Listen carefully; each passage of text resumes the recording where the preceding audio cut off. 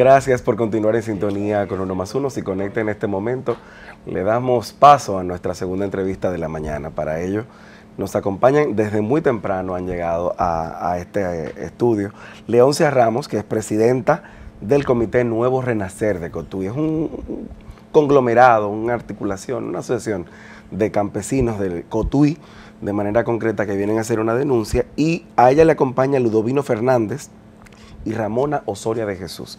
Gracias por acompañarnos en esta mañana, doña Leoncia. Gracias. ¿Ustedes amanecieron aquí o vinieron hoy? No, vinimos hoy.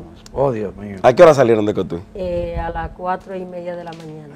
Madre mía. ¿Y qué es lo que ustedes quieren denunciar? ¿Qué es lo que está pasando? Bueno, nosotros lo que queremos denunciar es que, que hemos estado denunciando, porque no es la primera vez que lo hemos denunciado, eh, el, el, proyecto de, de Barrigol y nuestras comunidades, que desde que instalaron la, la, la empresa Barrigol en nuestras comunidades, por las comunidades que han quedado debajo de lo que es la presa de cola del Yagal, hemos venido reclamando que nos, dejaron sin agua, sin río y sin agua, porque teníamos dos ríos principales, en uno de ellos instalaron lo que es la presa de cola del Yagal, que es el Yagal, y Maguaca, que se suministraba también de río Yagal, ha quedado como si fuera un cadáver. ¿Por qué? Porque el río, el yagal sigue siendo, transmitiendo por debajo esa sustancia tóxica que tiene la presa de cola del yagal.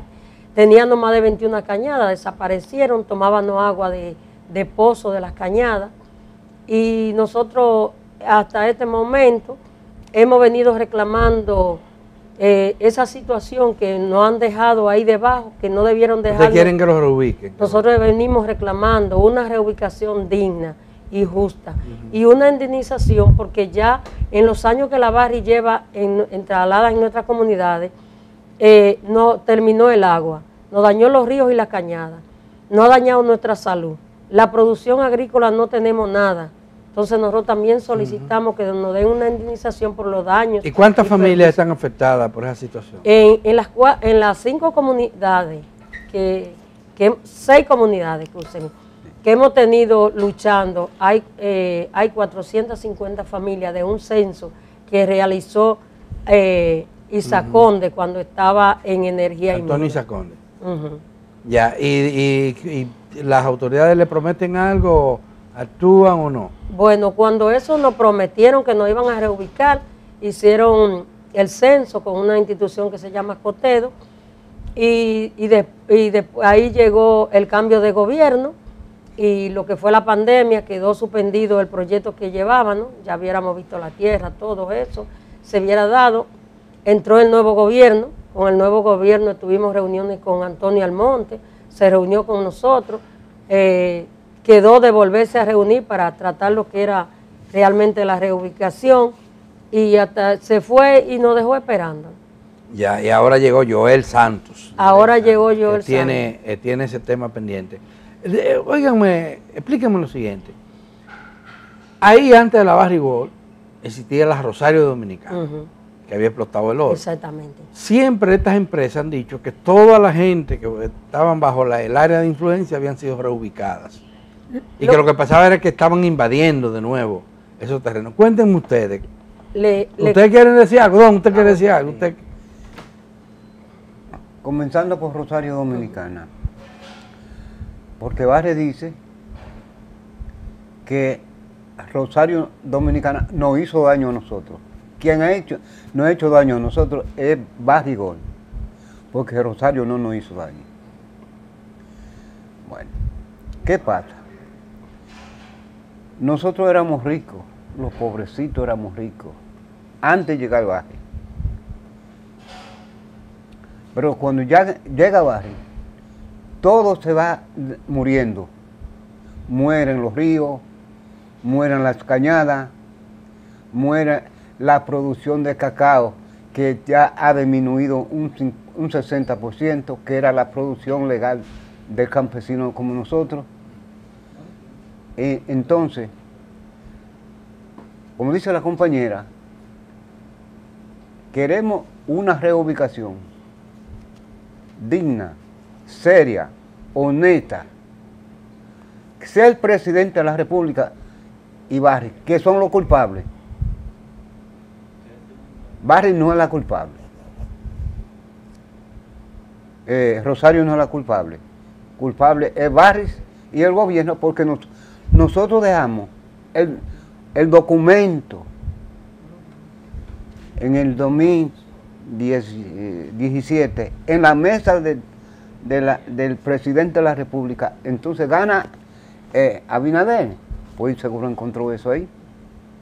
Seguro no lo quemaron los papeles. Entonces, ¿Y ustedes se han reunido con, con el presidente Abinader? No, ok. ¿Han solicitado algún espacio? Y no ha sido recibido. A los pobres es más difícil la cosa. mira, República Dominicana, que ustedes lo saben de memoria, el pobre es pobre, tiene su nombre. Si nosotros hubiéramos, si allá había habido personas como un general, o un capitán, etcétera, etcétera, nosotros quizás no entendíamos, tenían hasta temor de- si esa gente se meten en problemas. Pero nosotros hemos sido eh, destruidos por los gobiernos y por Barrigón, porque ninguna no han hecho daño de ahí para allá. ¿Y Yo qué creo- dice Barry ahora con ¿Eh? ustedes? ¿Qué dice Barry? Barry, que para dar un empleo, para darle un empleo a un joven De la comunidad. de la comunidad, hay que pelear caímente con ellos.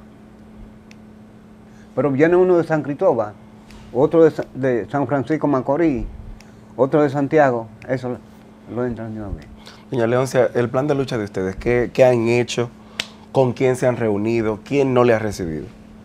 Bueno, nosotros, ahora que caminamos, pero quiero decirle algo con respecto a la Barri, a la Rosario, cuando decía él, que la Barri eh, se encarga, Juana Barceló, de, de- ocultar lo que es la presa de cola del Llagal con lo que fue Rosario Dominicana.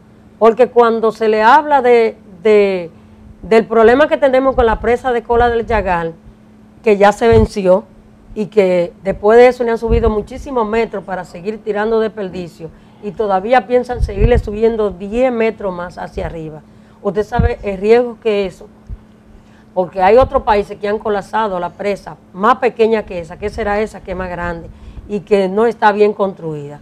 Entonces, eh, el- la Rosario a nosotros no nos hizo daño porque trabajó del otro lado de la loma y nosotros vivíamos en la otra parte opuesta. Ah. Y las comunidades que se fueron fueron otras, no nosotros. No tuvimos nada que ver con Rosario. La que sí nos ha hecho daño es la Barrigol, Pueblo Viejo. La que ha ido a invadirnos y a hacernos daño y a destruirnos. Y como decía Ludovino, eh, la Barri no es la culpable, sino el gobierno, porque es el que tiene que velar por la vida de, sus ciudadanos, que somos nosotros, que debemos, que debe eh, luchar por la vida de nosotros, porque tenemos derecho a la vida, tenemos derecho a la salud, tenemos derecho al agua. Entonces, por eso nosotros, porque un gobierno tras otro viene y no resuelve nada y se hace opuesto a los problemas de nosotros como campesinos. Si no aquí nada más en este país se ve el oro y, le- y- y el dinero que produce el oro tampoco lo, lo invierten en las comunidades. Ustedes dicen que eh, cuando estuvo Antonio Isaconde en minería, eh, se hizo un censo Sí, y además hubo un compromiso. sí. Eh, ¿Cuál era el compromiso? Se hizo el censo, se- después que se hizo el censo, volvió y se rectificó el censo. Ahí fue que, que- que determinó en el 2019 las 450 familias, ya ahí estaba depurado el censo. Eh, también sacó una comisión para que fueran a ver la tierra con una doctora. Tierra en donde podrían ser Donde ser reasentados. reasentado. ¿Dónde están esas tierras? Eh, visitamos a Bonao, visitamos a Angelina y esa tierra la encontramos camino a la cueva de Sevico, en una- un lugar que se llama Guanábano. ¿Y de quién son esas tierras? Esas tierras eran de varias personas y ahí ellos lo, lo invitaron hasta el señor, el señor llevó los documentos, todo. Para todo, comprársela. Para comprársela. Y asentaron a ustedes. Sí, pero ahí llegó el problema de la pandemia y ahí se Sí, paralizó sí. el proyecto. Y, Y después eso- de eso nadie, le ha dado Nadie no ha dado la mano. Nadie- ni siquiera Antonio. Antonio eh, Almonte habló con nosotros, nos visitó, conversó. ¿Qué le dijo? Que sí, que volvía a tener una reunión más extendida para aclarar la situación y no volvió. Ya, y ahora Hay uno nuevo. Sí, ahora hay nuevo. Por eso nosotros decidimos caminar a pie, salir eh, un grupo de personas mayores, no una multitud, sino un grupo de personas mayores en, en reclamo del derecho a la vida que estamos exigiendo. Y vinimos aquí, fuimos a- al Ministerio de Energía y Minas, eh, porque hay un nuevo que Joel Santos. Joel Santos. Nos recibió una comisión, también nos trasladamos y dejamos un, un documento, nos trasladamos a Medio Ambiente, también Medio Ambiente no- nos recibieron, y luego nos trasladamos a la presidencia. Allá nos recibió la doctora María del Pilar Díaz.